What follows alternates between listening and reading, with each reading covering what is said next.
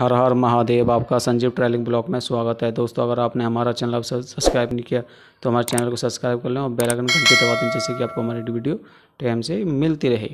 दोस्तों, आप सभी को पता है कि कांवड़ यात्रा में केवल अब पंद्रह से सोलह दिन बचे हैं केवल, जो कि आपका चौदह जुलाई से कांवड़ यात्रा स्टार्ट हो जाएगी।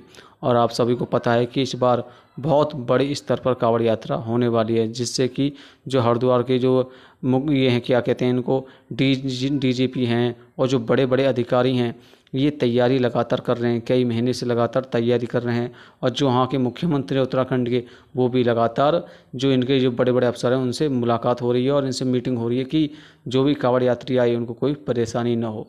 लेकिन हमें क्या करना कि हमें कौन कौन सा सामान ले जाना है कांवड़ यात्रा में कि हमें खुद परेशानी ना हो, क्योंकि अगर हम कोई सामान ना लेके तो हमें वो परेशानी होगी। तो हम कांवड़ यात्रा में क्या क्या सामान ले जाएँ।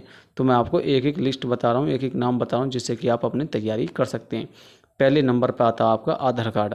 आप आधार कार्ड ज़रूर ले जाएँ, क्योंकि इसलिए कि आपके कम से कम चार से पाँच करोड़ छः करोड़ तक पब्लिक आ सकती है, इसलिए आपको आधार कार्ड ले जाना बहुत ज़रूरी है, क्योंकि भीड़ बहुत ज़बरदस्त होगी, इसलिए आप अपने जो भी आपके बच्चा आ रहा, बालक आ रहा कोई भी छोटा, बड़ा आ रहा हो, सबका आप आधार कार्ड ज़रूर लेकर आएँ।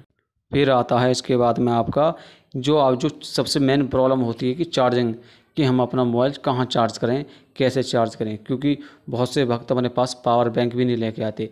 चलो मान के चलो पावर बैंक भी आगा तो इसके लिए भी चार्जिंग की ज़रूरत पड़ेगी। तो हम अपने चार्ज करने के लिए क्या करें?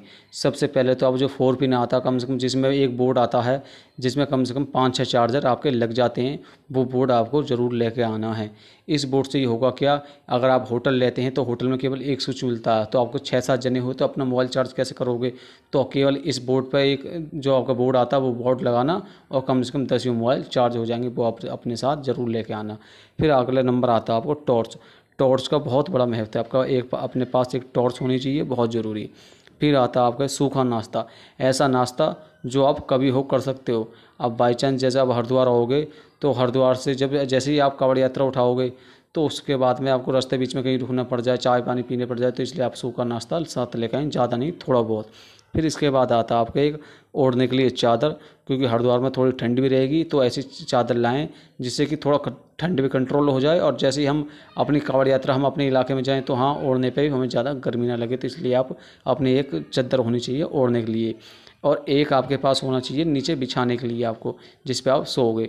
ऐसा होता है भंडारों में इतनी भीड़ मिलती है कि अगर भंडार में जगह नहीं मिले तो जो आपके पास कपड़ा है, उसे आप बिछा के सो सकते हैं। फिर आता है आपका रेन कोट आप या तो रेन कोट ले सकते हैं, क्योंकि लगातार बारिश का मौसम पड़ेगा तो लगातार आपको रेन कोट की ज़रूरत पड़ेगी और आपके साथ रेन कोट के साथ साथ छाता भी बहुत ज़रूरी है। फिर आता पिन्नी।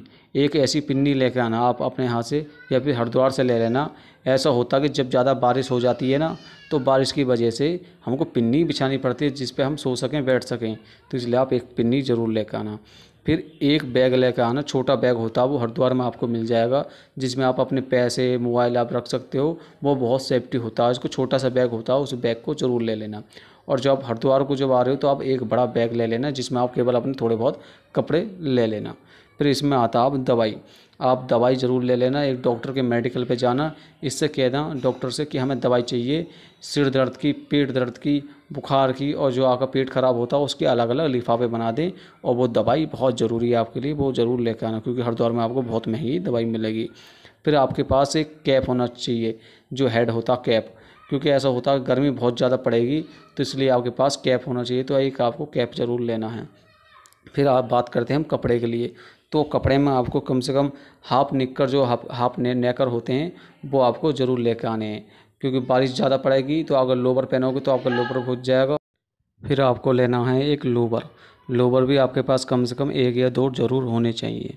फिर आप बात करते हैं, फिर आपके पास ज़रूर चप्पल ज़रूर होनी चाहिए। अगर आपको, क्योंकि बार, बरसात का मौसम है तो आपके पास एक जोड़ी चप्पल बहुत ज़रूरी है। वो एक चप्पल ज़रूर लेकर आएँ, एक जोड़ी। फिर बात करने हैं। आपके पास जो बनियान होती है, टिट सेट होती हैं, हाफ़ बाजू की, वो भी कम से कम दो तीन आपके पास होनी चाहिए। फिर आपके आती हैं तौलिया। एक तौलिया या जो तौलिया होती है या फिर अंगोछा होता है, वो आपके पास ज़रूर होना चाहिए। ऐसा होता है कि अगर हम बारिश में भीग जाएँ या फिर हम स्नान कर रहे हैं तो हमें पहुँचने के लिए कुछ ना कुछ चाहिए, इसलिए वो आप ज़रूर लेकर आएँ। और आपके पास अगर कोई और इस एक्स्ट्रा आपको बहुत ज़रूरत है तो आप वो लेके आ सकते हैं। जो हमारी जो मेन मेन चीज़ हैं, वो हम मैंने आपको बता चुका हूँ इस वीडियो में। आप इन्हें ज़रूर लेके जाएँ। इनके बिना तो यात्रा बिल्कुल बेकार है, क्योंकि आप हरिद्वार में इन चीज़ों लोगे तो आपको बहुत महँगी ज़्यादा पड़ जाएगी। इसलिए हम चाहते हैं कि आपको यात्रा ज़्यादा महँगी ना पड़े और आपको वहाँ इतनी भीड़ होगी तो भीड़ के चक्कर में आपको अब रेट भी दुगनी मिलेंगी।